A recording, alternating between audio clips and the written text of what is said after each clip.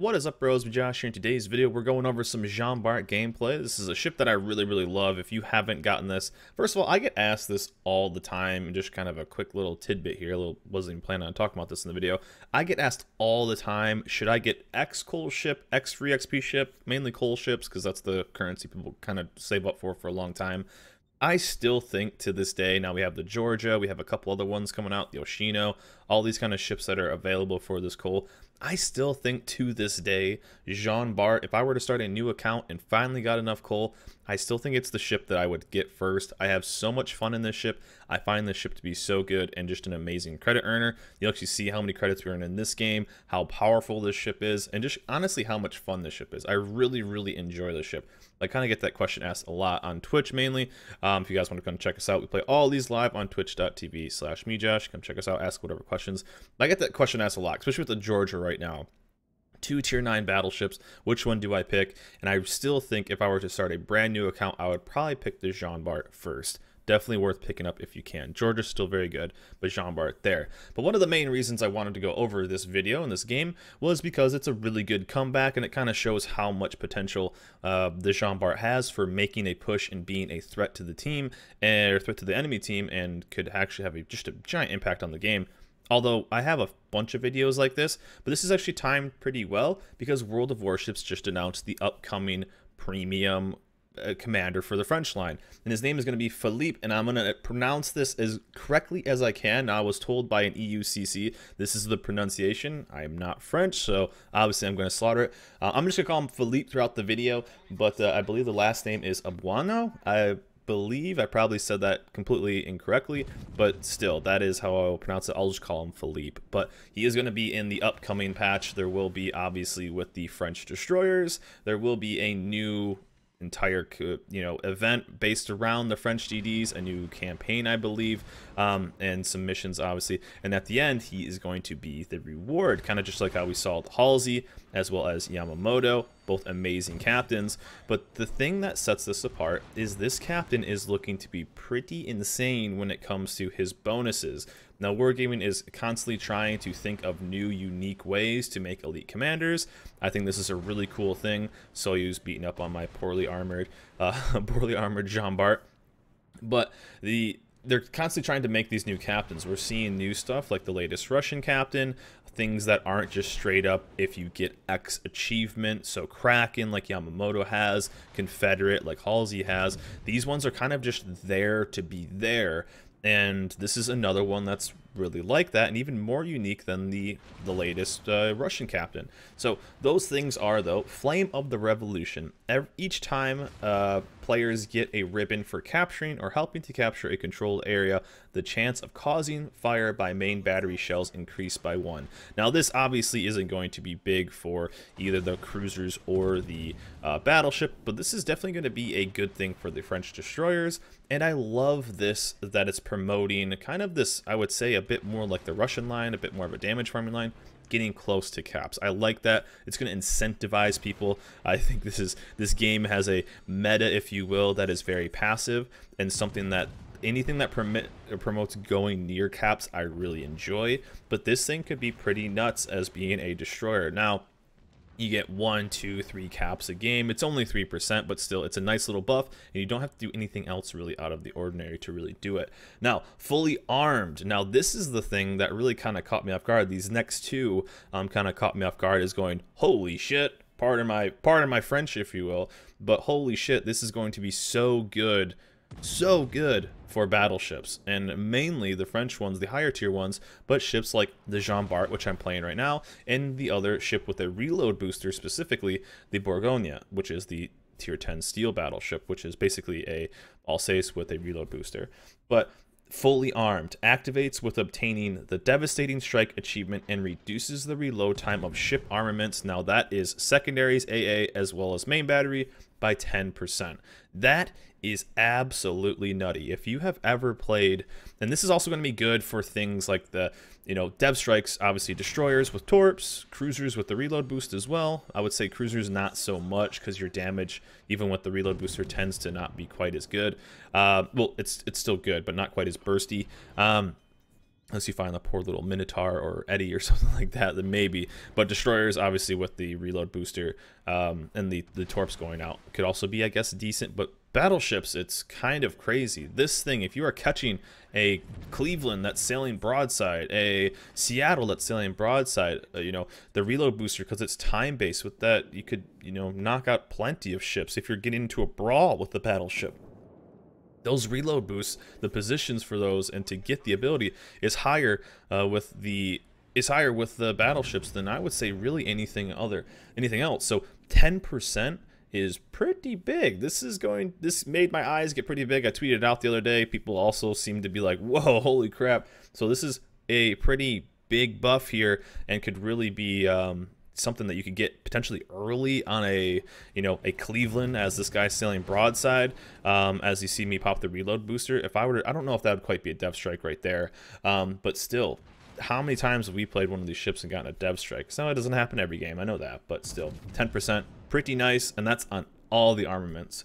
And then on top of that, something else, and as you see in the top right corner right now, we are at 1.2 million potential damage. This is something that French ships in general tend to get a lot of, destroyers as well, but this is just another passive buff. Speed and endurance increases the ship's maximum speed by 5% for each million of potential damage. So you're going to see this throughout. So instantly we would be 5% faster. Now, what does this mean? That means that a Bourgogne or a Jean Bart has the potential, if you are getting shot enough, to have the speed of a Khabarovsk, and I don't think that really even includes the speed boost, which is on this. And that's insane. These ships are already some of the fastest. With speed boost, they are the fastest battleships in the game. And they have 5, 10, 15% faster. I mean, already we're 8 minutes in, we're 5% faster. A few more salvos, and and we're 10% faster. That's That could be 4 knots or whatever with, with speed boost. 3, 4 knots on top of that. That is absolutely crazy very exciting but man when i first saw this i was like all right this is going to be something that is is definitely going to be nice. And then they say that the talents won't work for clan battles. That's pretty obvious. Um, there's a majority of them that are kind of based off of uh, uh, achievements and achievements don't happen in clan battles. Um, eh, but they are available in all the rank battles. And then uh, but they weren't won't work in clan battles. So i think that's pretty fair and then besides that, this commander has one improved skill, Survivability Expert, uh, which uh, obviously it's based around the, D the DDs. Um, so, you know, get a little bit extra life there. That's kind of nice. You probably will run it on most the French destroyers because they don't have smoke, so you need as big a health pool as possible. But yeah, you're probably going to be um, wanting a little bit more life, and this one already has that.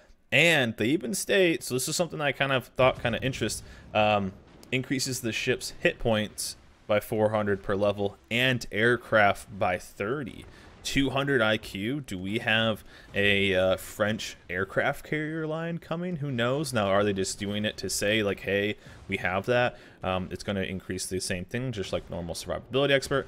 But maybe are they hinting at a French aircraft carrier line? I have no idea. So, um, but uh, maybe it'd be kind of interesting. And here you kind of see me um, getting picked on by a Freddy. We're just going to kind of push up and do what we can and actually use this reload booster to get us this fight. But at this point, we're going to do, start doing French things. But imagine being 5% faster, soon to be 10% faster.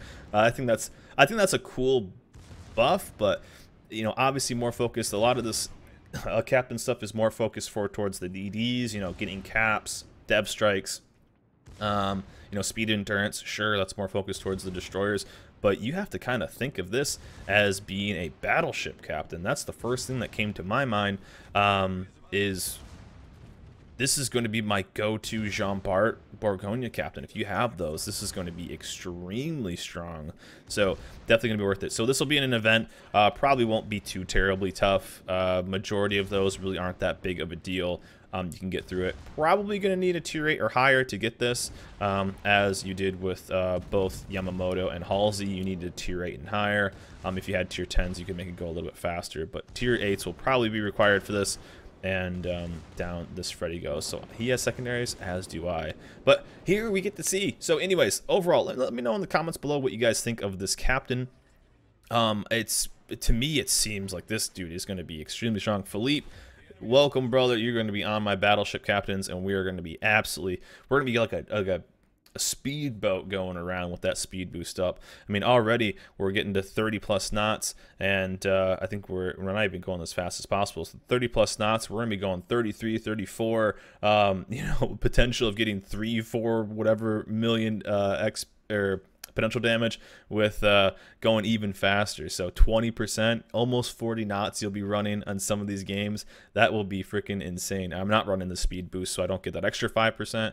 Um, it'll be pretty nuts. But um, overall, though, I like the idea of them um, doing these, but I feel like this one might be a little overtuned for battleships. Uh, obviously, when people see kind of the the Kuntz, the the uh, uh, the latest Russian battleship, it's a bit more of a how do you say uh, it, it, can be pretty strong in a lot of situations. And is there a power creep coming to? That's another conversation I had with another CC. Is there a power creep coming to these captains? I mean, we kind of, and what I mean is power creep as are the old captains. So are we even seeing Halsey and Yamamoto? Are these ones not quite as strong as the new ones? Usually, power creep. That's what kind of people are talking about. Is um, the newer things being stronger than the older things. Um, we see that a lot with kind of mid-tier destroyers right now. The new DDs coming out are much stronger than the than the old ones.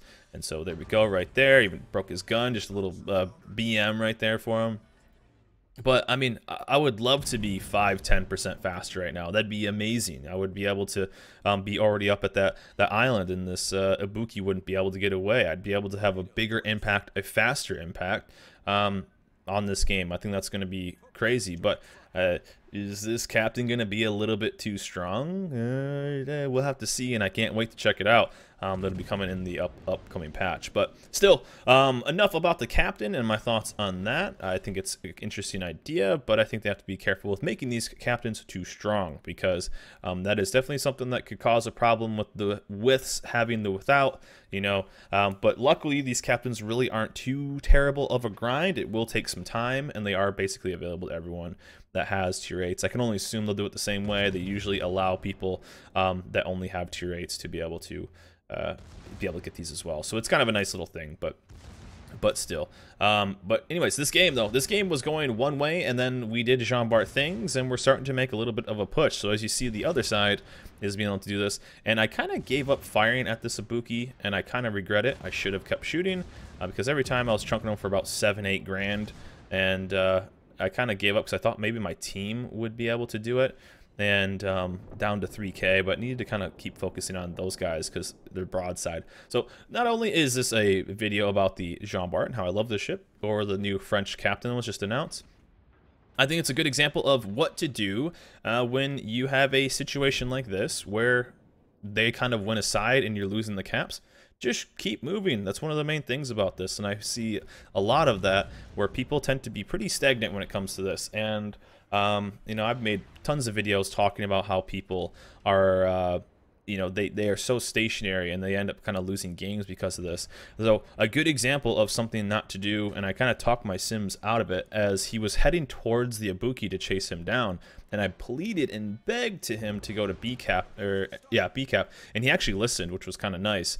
Um, but uh, that's one thing a lot of people do. They see the low low life ship. They see uh, the uh, you know the kind of treat out there, the little prize, and 200 IQ those uh, those torps right there.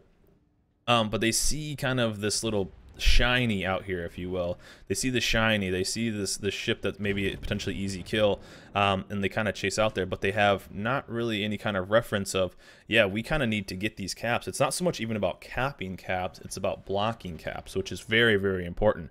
You want to stop what I call the point bleed. And so as you see right here, this lion pretty much just sailed broadside. He was full life when he got into the cap, and now he's Mm, well, you're going to see in a second, uh, zero life. So he went from 100 to zero extremely fast, and that Helena is extremely lucky. But uh, luckily, we have a spot. Uh, one of the things, too, is the Azuma uh, was kind of sitting there, and as you see, I should have just killed that Ibuki when I had the chance. But uh, don't worry, we will get our revenge because uh, he's been a little he's been a little sneaky snake here this whole game, and we should have just taken care of the the is actually kind of under underrated in my opinion. Um, a lot of people kind of give this a little bit, the ship a little bit of crap, but uh, me, I find it to be pretty solid.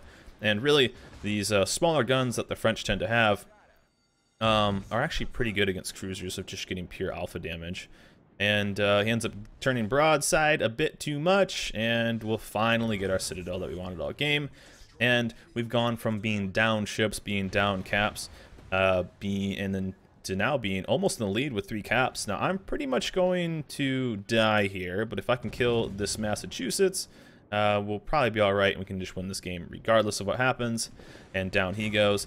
So again, Jean Bart being one of my favorite ships, being able to impact the game. But man, when this next captain comes out, it's going to be able to be even stronger.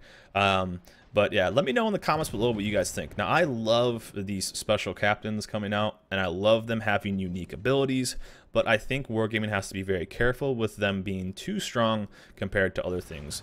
We see some situations that the Russian captain if one ship has it and then one ship doesn't, they just have a straight up advantage.